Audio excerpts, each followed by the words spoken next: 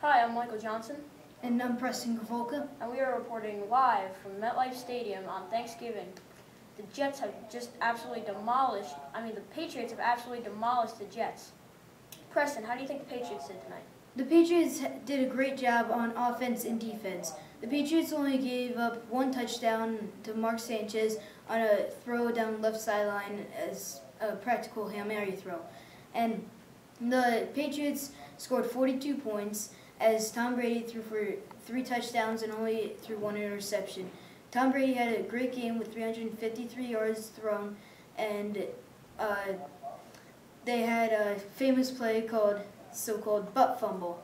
Wil- uh, Vince Wilfork pit, uh, pushed the Jets' offensive lineman into Mark Sanchez when he missed a handoff to the Jets running back, and uh, he fumbled the ball when the Jets, no, not just Patriots defensive end picked up the ball and ran in for the touchdown.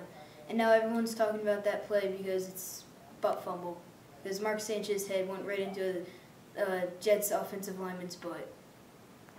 Yeah, I agree with you. The the Patriots played great, but the real highlight of the game was the butt fumble. That was an absolutely pathetic play by Mark Sanchez, and the Jets just played pathetically all night. They got whooped on both sides of the ball. And as you know, Mark Sanchez ran into his lineman's derriere. And um, so the Jets just played absolutely horrendously. They were outscored pathetically bad.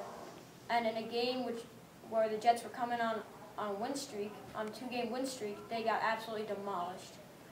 So um, that's all the time we have here. Reporting from MetLife Stadium, I'm Michael Johnson. And I'm Preston Volka. Have a good night, everyone.